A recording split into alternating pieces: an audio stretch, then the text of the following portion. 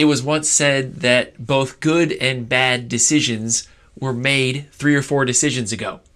Uh, and what this means is oftentimes when we as human beings, we make either good or bad decisions. The, the thing that is the decision wasn't actually made right at that moment. It was made three or four, sometimes even more uh, decisions ago. And uh, guys, I thought of this recently. We were in Florida for 10 days. It was amazing. The sun was out almost every day.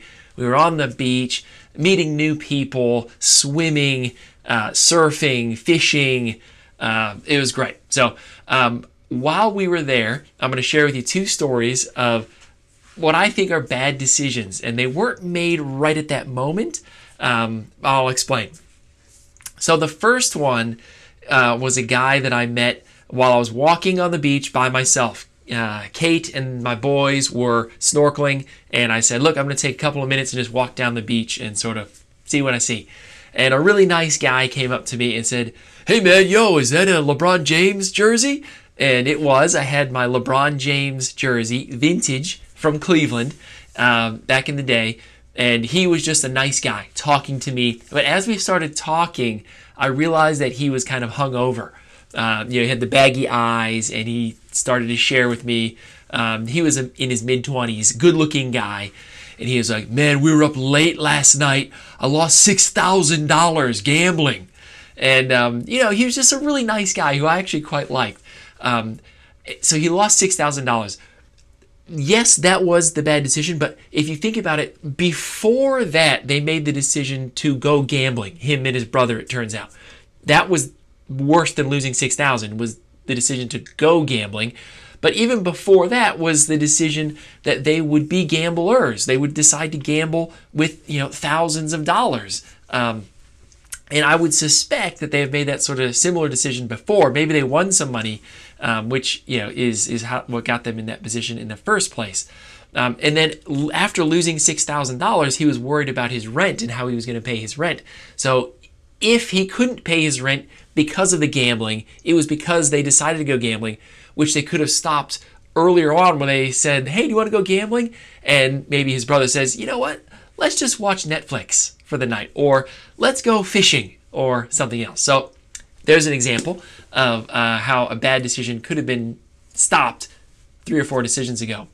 Um, the other one is some of the outfits that the girls are wearing on the beach. Uh, my boys, who are young, they are uh, five, seven, and nine. Um, one of them said, um, "You know, mommy, how come that girl has her underwear on on the beach?" And you know, everyone wears different types of swimsuits on the beach. I had no shirt on and just my swim trunks, my board shorts. Um, but there are different types of swimsuits, and when you go to Miami, Florida, and Fort Lauderdale, Florida, there is a wide array of swimwear. And some of them look like they were sold at 50% off, and that's because there's 50% less material involved in the making of that swimwear. Now, uh, if you're a girl and this is something that might, might apply to you, um, the decision that you're making to wear that sort of swimwear um, isn't functional. It's not just to get you to the beach, it's to catch the eye of a boy, a male, probably. And the, the problem with that is if it works, then the sort of guy that you've caught the attention of isn't usually a great guy because they're looking for things that appeal to their eyes, not the sort of character that you have inside of you. They're not looking for beauty on the inside, they're looking for it on the outside. So, what if the beauty on the outside changes? You put on a few pounds, you get into an accident, you get a scar or whatever. That same person that took the bait and they, they bit on what you showed them is now not going to like who you are because of how you look. It's it's a bad decision, but it was made when you were alone in your bedroom or wherever you're in the bathroom, changing, getting ready for the beach. It wasn't necessarily made at the beach. It was made at home. And even before that, it was probably made, I don't know, by the parents, their parenting style, or a rebellious sort of streak in the child, um, somewhere in there. So this is where we're at today. We're going to talk about self control. I'm going to give you a few verses and try to explain to you why I think self control, you guys, is one of these things that is a biblical mega theme. It is literally in almost every book of the Bible, from Genesis to Revelation. And the very first time we see someone drop the ball in self control is Eve when she bit that darn fruit. she was by herself, debatably. Maybe Adam was off to the side, but um, she bit the fruit. She knew that she shouldn't, and it was up to her herself to say no to that temptation, and she didn't do that. She lost her self control. Um, other famous examples that we read about in the Bible are King David. He lost his self control with Bathsheba and just sought what his eyes desired, and he got it, and it created murder and lies and deception, and it was a really bad tumble down of decisions. Um, so here's what the Bible says about self control. In Proverbs 25 28, written by Solomon, the wisest man who ever lived, a man without self control is like a city broken down and left without walls, and those walls would be self control. Also in Galatians 5 22 through 23, we see uh, the fruit of the Spirit is love, joy, peace, patience, kindness, goodness, faithfulness, gentleness, self control. Against such things there is no law. And it's an interesting thing, you guys, about self control. It's up to you by yourself. And the reason why this is tricky is no one is going to sort of get you in trouble. That's where it is a problem is the police don't know what you think, right? Your, your self-control, you're the only one that can see what you think, that knows what you think. And as you get older and you move out of your parents' house and you're not under their um, authority anymore, you make decisions for yourself. And so your parents' job is to teach you the way in which you should go. And they're hoping that you will start to get the idea and start to do it for yourself. But there's all sorts of things that you can do that you're allowed to do as you grow up, but you really shouldn't do them and so here's one verse on that one. It says, All things are lawful for me, but not all things are helpful. All things are lawful for me, but I will not be dominated by anything. That's in 1 Corinthians 6:12. Here's an example of that, you guys. I am 42 years of age. Can you believe it? 42. Um, now I can drink alcohol. Okay, I'm over 21, uh, a responsible adult, and I can drink technically as much alcohol as I would like at home if I'm not driving, right? There's no limit uh, legally.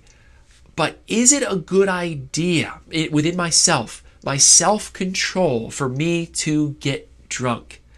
I would say, whether you are a Christian or not, the answer is no. That's not a good idea. It makes my judgment bad. It makes my temper shorter. It makes my mind wander. And the things that I would do if I was drunk are not good. So it says, All things are lawful for me, but not all things are helpful. And that will apply to you guys. Can you wear whatever sort of swimsuit you want when you're over 18 and out of your parents' house? Yes, you can. Is it helpful always? No, not really. Are you allowed to go gambling when you're over, I think, 18 or 21? Don't quote me. Uh, but, you know, is that a legitimate business in America? Yes, it is. But is it beneficial? No, it is not. No matter what you think, it's not beneficial for you to go gambling. So there are all sorts of things. Um, is it allowed for you to stay up late? Yeah, sure. Is it beneficial? No, it's not. Is it uh, allowed for you to eat chocolate all day? Yeah, it's allowed. Is it good for you? No. Type 2 di- diabetes is on the way. So, um, guys, self control is one of these things that we as Christians and friends, we really need to be working on. Uh, whether it's spiritual or just physical, or what you wear, what you listen to, or how late you stay up at night, or how much exercise you do, we've got to get self control right. So here's a couple more scriptures. Uh, I love this one in 1 Corinthians from uh, the Apostle Paul.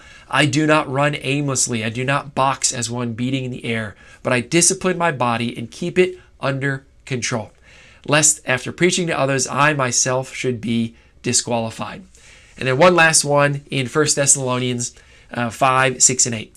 So then let us not sleep as others do, but let us wake and be sober. For those who sleep, sleep at night. Those who get drunk are drunk at night. But since we belong to the day, let us be sober, having put on the breastplate of faith and love, and for the helmet, the hope of salvation. So, guys, this week, my homework for you is to think about one area that is in that space of allowed but not helpful for you. Um, maybe for you, it's screen time.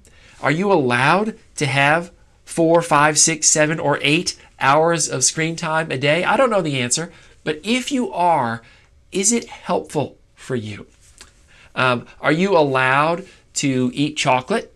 Uh, I hope, because chocolate's great, but is it helpful and beneficial for you to have tons and tons of chocolate? Probably not. Um, are you allowed to go shopping online? Yeah, I, maybe. But is it always helpful? Well, that's up to you.